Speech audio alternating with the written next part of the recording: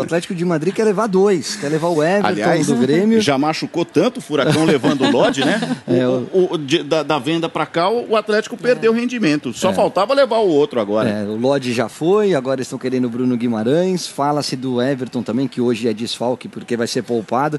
Mas eu acho assim, são grandes jogadores. O Bruno, para mim, não é que ele vai aparecer na lista olímpica, ele tem que ser titular absoluto desse meio de campo. Porque ele ataca, ele marca, ele tem qualidade no passe, ele entra na área para fazer gol. Para mim, é um dos grandes meio-campistas do momento do, atual do futebol brasileiro.